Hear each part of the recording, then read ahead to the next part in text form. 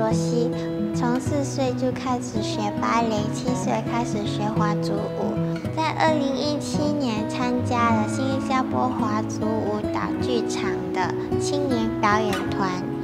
读理工学院时，我也有学过现代舞，这是我第一次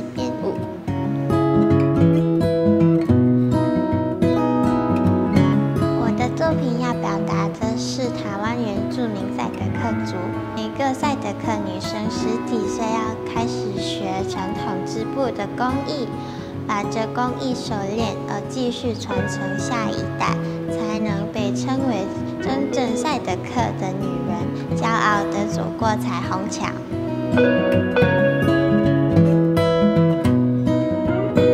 我的灵感来自于我的外婆，因为他是赛德克族人。我妈妈都常说到他，而跟我讲了很多故事。现在年轻人都很少接触原住民或少数民族，我认为应该把这些原住民文化传承给大家认识。